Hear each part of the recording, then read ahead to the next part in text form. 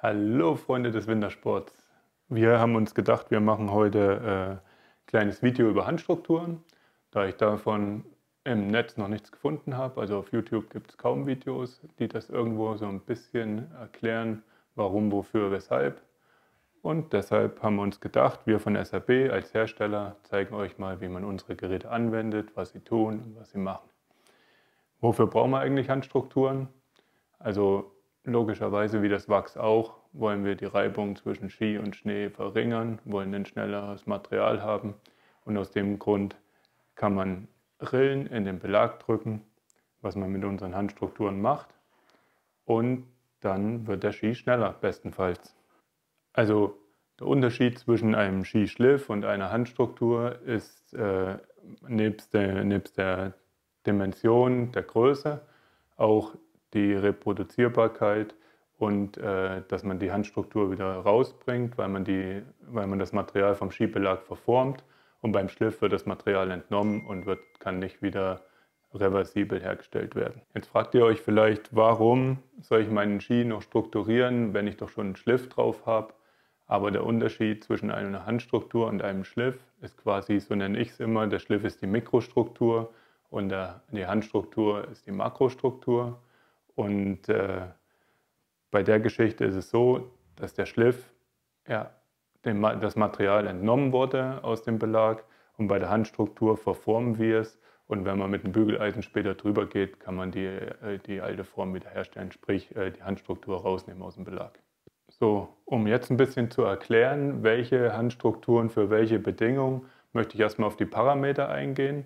Jede Handstruktur hat äh, verschiedene Schnittwinkel, hat verschiedene Abstandsgrößen zwischen den Schnitten und äh, ein ganz entscheidender Faktor ist eben auch das Verhältnis zwischen der Tragfläche und den Schnitten. Das heißt, äh, die Tragfläche ist im Prinzip der ganze Ski von der Breite über die Länge und wie viele Schnitte setze ich pro Ski ein. Und das ist dann auch ganz entscheidend äh, bezüglich der Korngröße und bezüglich eines Wasserabtrags, wofür die Handstruktur dann dienen soll. So, und anhand unserer Strukturen von SAP möchte ich euch gerne mal die verschiedenen Parameter demonstrieren. Wir haben jetzt zum einen eine lineare Handstruktur, das ist im Prinzip die Grundstruktur, die man dann eben in äh, diversen äh, Schnittwinkeln und diversen Abständen herstellen kann. Bei uns wäre das jetzt die, die normale, die LM. Wir haben dann aber auch mit einem, mit einem 60 Grad Schnittwinkel die 602 oder in einem stumpfen Winkel eine LEG zum Beispiel. Als nächstes haben wir die Unterbrüche in einer linearen. Unterbrüche sind einfach Abstände zwischen den Schnitten. Diese können, äh, wie hier zu sehen, in einer V-Richtung oder in einem V-Schnitt passieren oder auch diagonal über die, über die Abrollung funktionieren. Dann haben wir Schrauben. Das wäre jetzt eine ganz normale Schrauben, äh, Schraubstruktur. Diese wirkt, da, dass die, dass die Schnitte quasi vom linken, äh, von der linken Seite des Skis auf, den rechten, auf die rechte Seite laufen. Parallel dazu haben wir das Gegenstück, wo der Schnitt von der, link, äh, von der rechten Seite auf die linke läuft.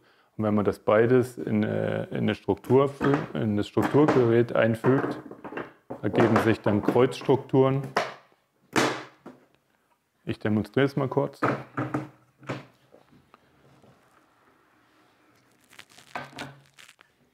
Und jetzt haben wir hier eine schöne Kreuzstruktur auf dem Ski, die dann eben für spezielle Bedingungen, ich sage jetzt mal, was hat man hier drin, eine 301er, für fallenden Neuschnee zum Beispiel wunderbar funktionieren würde. Als nächstes haben wir dann äh, Schrauben, die rechts-links drehend sind. Das heißt, eine Seite schraubt sich nach rechts, eine Seite schraubt sich nach links und es ergibt so Grätenstrukturen.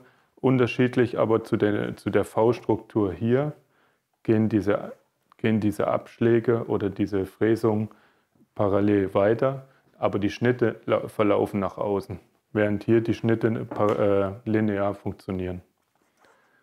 Das ist zum Beispiel auch eine, eine sehr gute Serie, diese Sie, unsere V741234, die funktioniert eigentlich relativ häufig und bei allen Bedingungen.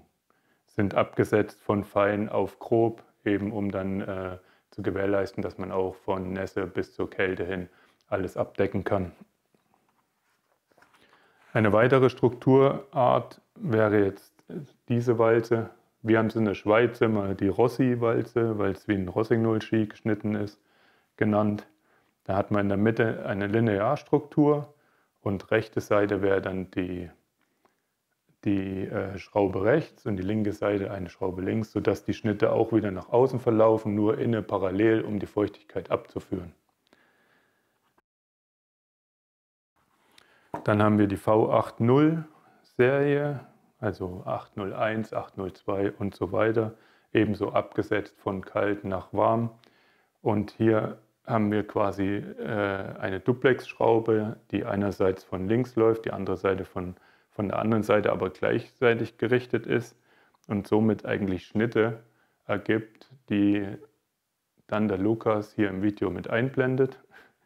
Und äh, das sind zum Beispiel auch hervorragende Schrauben für, für widrige Bedingungen, für stumpfe Bedingungen, um, äh, ich sage jetzt mal Neuschnee, fallender Neuschnee oder extreme Kälte zu bearbeiten.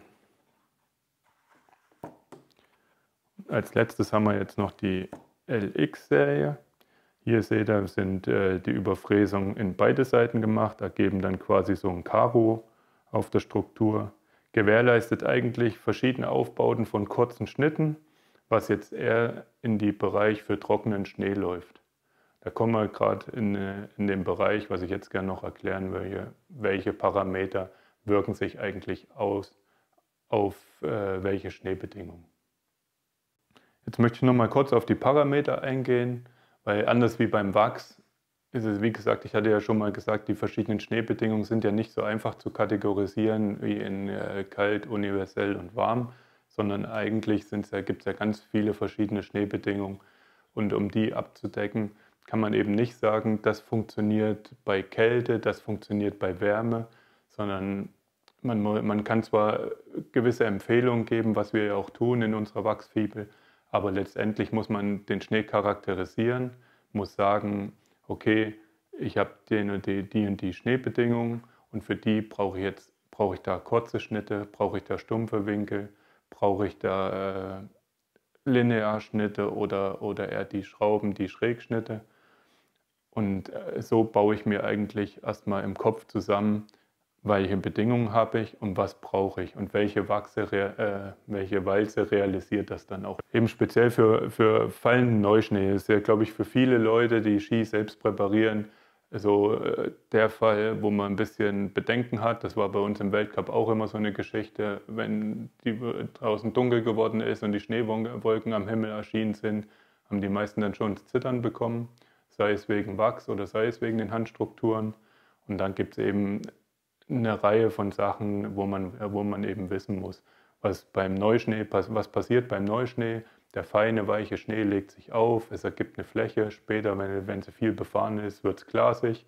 Also das heißt, ich, ich befinde mich mit einer glatten Fläche auf einer glatten Fläche. Was muss ich schaffen? Ich muss Luft unter den Ski bringen. Hier äh, dient es eigentlich nicht dafür, äh, große Feuchtigkeit unter dem Ski abzuführen, sondern hier die, äh, ist es ein Punkt, um äh, Luft unter den Ski zu bringen. Das erreiche ich mit Schrägschnitten. Und äh, da hat sich eben unsere äh, V803-Serie äh, oder V80-Serie, sei es dann die 802, 803 oder 804, die haben sich da wirklich bewährt im fallenden Neuschneebereich, wo man sagen muss, dadurch, dass die, Schnee, äh, dass die Schnittwinkel schräg angesetzt sind und dann auch noch jeweils in der Richtung ändern, ihr seht es dann nochmal auf dem Strukturbild, was euch der Luca einblendet, und äh, dass da wirklich ein Abriss äh, generiert wird, die Adhäsion zwischen Skibelag und Schnee äh, vermindert wird und somit eigentlich gute Fahreigenschaften generiert werden können. Ihr habt gesehen, wir von SRB also bieten das an. Wir haben äh, über 15 Jahre Erfahrung, in dem ich mache seit 17 Jahren, war ich Skitechniker in der Schweiz, habe hab dieses Modell verwendet. Wir haben ja das HSG 2 zum Beispiel, was wir halt oder was im Profibereich auch nur angewendet wird, weil man eben hier die Möglichkeiten hat, äh, zweimal oder zwei verschiedene Handstrukturen mit einer Struktur zu bearbeiten oder zu erarbeiten. Und äh, das möchte ich euch auch noch mal kurz demonstrieren. Einerseits hat man hier den angetriebenen, die angetriebene Version. Das ist gegenläufig. Dadurch wird der Schnitt, der eigentlich äh, abgelegt wird, wird verlängert und ist gegenläufig. Das heißt umgedreht. Somit äh, verlängert sich der Schnitt und er wird auch tiefer eingearbeitet. Ihr könnt es euch vorstellen, als wenn man bei der Landwirtschaft einen Acker bearbeitet und von hinten so aufgemulcht wird und dass man dann tiefer in den Boden kommt. Das günstigere und Einsteigermodell ist eigentlich hier nur zum Drücken. Äh, funktioniert auch einwandfrei. Man kann das im Prinzip genauso verwenden wie, wie die anderen auch. Man, äh, ich nehme jetzt mal eine andere, man impliziert die Walze, setzt auf und drückt sie einfach rein. Gleichzeitig kann man auch hier die Führungswalze rausnehmen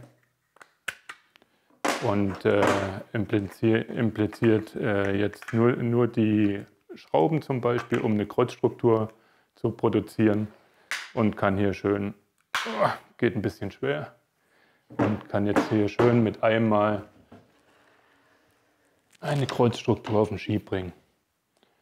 Das gleiche funktioniert natürlich auch mit dem größeren Modell, hat wie gesagt eben noch den Zusatz, dass man den mit Antrieb tiefer kommt und die, den, den angegebenen Schnitt, ich sage jetzt mal hier diesen Schnitt auch nochmal fast verdoppeln kann, weil die Zahnräder eben fast die doppelte Zahnlänge haben.